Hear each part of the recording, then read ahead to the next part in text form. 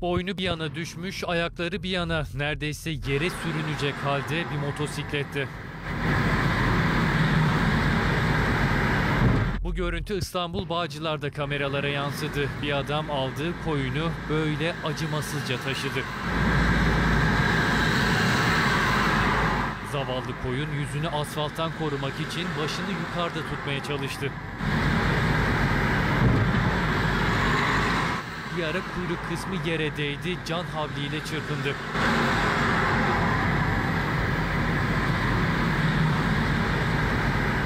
Bu zalimliği görenler şaşkın şaşkın baka kaldı. Biri de bu görüntüyü kaydetti. Zavallı koyunun olduğu motosiklet bu halde gözden kayboldu.